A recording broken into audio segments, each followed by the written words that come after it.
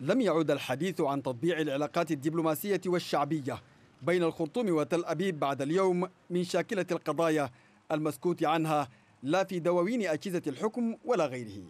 هنا ومن داخل قاعة طيبة بريس وسط الخرطوم ثمة سودانيون أعلنوا صراحة انطلاقة عمل مبادرتهم الشعبية للسلام مع إسرائيل.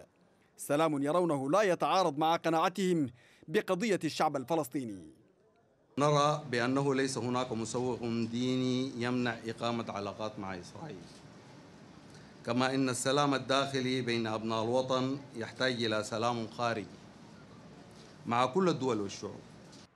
خطوات السودانيين للتطبيع مع إسرائيل في جانبها الشعبي تسير بالتوازي مع محادثات الحكومة مع الجانب الأمريكي في هذا الصدد.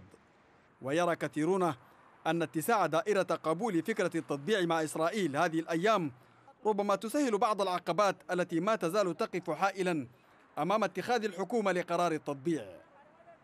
نحتاج نحن لحكومة شجاعة تتخذ موقف شجاع. مسألة التطبيع مع إسرائيل تتخذ تريد قرار شجاع.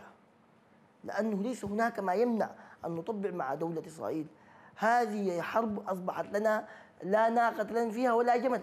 جميع الدول العربية الآن تتجه نحو آفاق وعلاقات أوسع مع دولة إسرائيل. وفي الوقت الذي تنامت فيه دعوات التطبيع في الشارع العام واعتزام بعض رموز المجتمع زيارة تل أبيب خلال الشهر المقبل يرفض كثيرون أيضا أي تقارب مع إسرائيل ما لم تحل القضية الفلسطينية. كونه نحن كدولة مسلمة نعمل لنا علاقة مع إسرائيل دي حاجة صعبة شديد والله. لكن الحمد لله. نحن تضررنا الضرر الضرر فاق يعني فاق حده. وما في حل غير إنه نحن نطبع. إذا كان مصلحة السودان في التطبيع المفروض يكون التطبيع حاجة منفصلة عن رفع السودان من قائمة الدول الراعية الارهابي يعني. حاجة تكون منفصلة ما تكون ما تكون مربوطة ما يكون نوع من الابتزاز السياسي. التطبيع بيكون بعد ترتيب البيت من الداخل اللي هي تجي حكومة منتخبة. بعد ذاك التطبيع بنشوف نحن مصلحتنا لأنه العالم كله بقى شنو؟ بقى تحالفات. يعاني السودانيون من أزمات مختلفة. أبرزها الأزمة الاقتصادية والعزلة الدولية التي تكبدت البلاد بسببها خسارة ليس أقلها وصمة الانتماء إلى قائمة الدول الراعية للإرهاب. وصمة الخروج منها يتطلب حسب البعض المصالحة مع إسرائيل.